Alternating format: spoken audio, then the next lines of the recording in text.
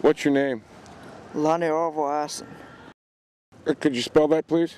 L O N N I E I S O N.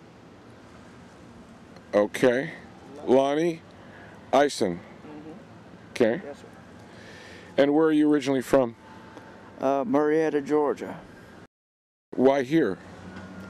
Uh, I like it 'cause of the weather. The weather on up north is real cold at winter. And uh, how long have you been here? I've been here right at two months. And it hasn't been. It hasn't gotten too cold. Uh, a couple of nights I stayed out. It was pretty cold. Uh, where do you all stay when you're staying out? Just anywhere. So what what do you do? What I do out here, nothing. They won't allow us to panhandle no more. So so you don't do anything out here now. Not now. I'm gonna try to go back for for the city on a garbage truck. You're gonna try to get a job. Yeah, through the temp service. Yeah. Uh huh. But uh, temp- you're temporarily unemployed. Yes.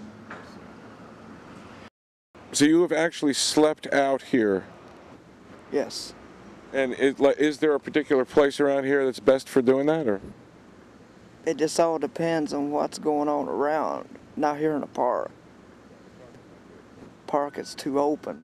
I have slept in this bench over here on the other side. I have slept over there about two nights. Now, do you do you have to worry about getting ripped off?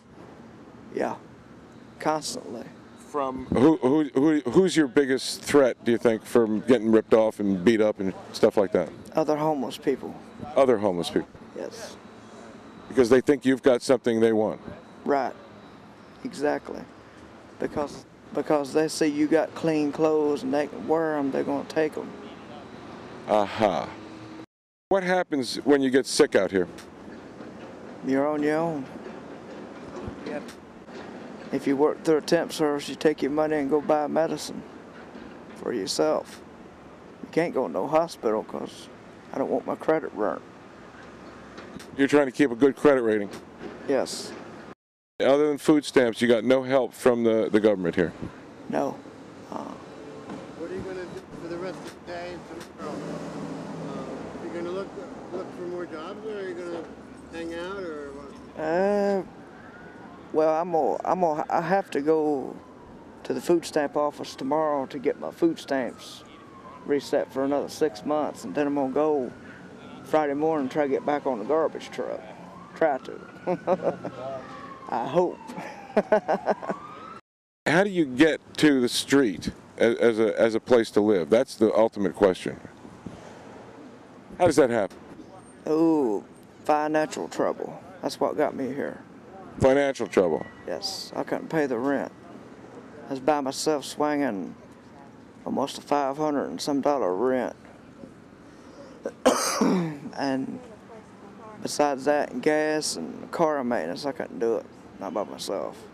So you, you couldn't get a job that would pay you enough money to maintain your Right. paying lifestyle. Right. And then uh, you hit the street in Marietta. Yes, I stayed on the street up there about four years. Then I started traveling around. I went to Kentucky, Tennessee, here, Gainesville. I've been down in Wesley Chapel, Florida. I didn't like it. Didn't like it. So you like St. Augustine yeah. of all the places you've been. Yeah, it's true. I like it because it's little. So really, there's you're you're just you're not getting the minimal support that you need in order to just uh, get out of this cycle or this circle here. Right. Break a cycle, you got to have a place, you know, and you got to have a vehicle. Then I could, I could work then, you know, every day. But how, yeah, how do you get from here to there is the question.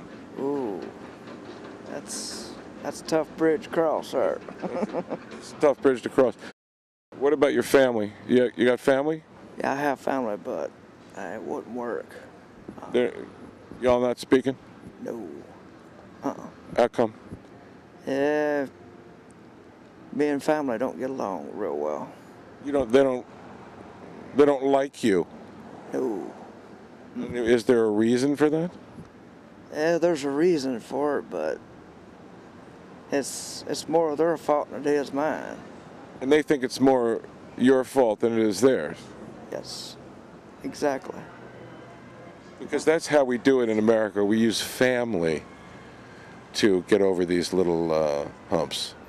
And when you when you cut yourself off from a family, you find yourself in this position. Uh, not really. I I was living by myself for for about eight years by myself. Without without any problem. Right. Yeah, I'm still having a hard time understanding how you get here from there. You just get into financial trouble and you can't make the rent. The landlord comes and kicks you out and changes the locks. Right. But you still had the job. Uh, not up there. No. Okay, so you, you it starts with lack of job Yes. and goes from there. Yep. Lack of transportation, lack of a place to stay. yeah. Exactly. And then once you're in that position, it's hard to get out of it. Yes, it is. You get in a cycle because everything's free. Right. Free shower, free food. You know, some people just get in a cycle and they never break it. In the free cycle, Yes. as it were. Did I do good? Yeah, that was pretty good. Uh, your next person would be either either him or Him there? John Lynch. John Lynch has been on the street forever. All right. He's a pro at this. Oh, yeah.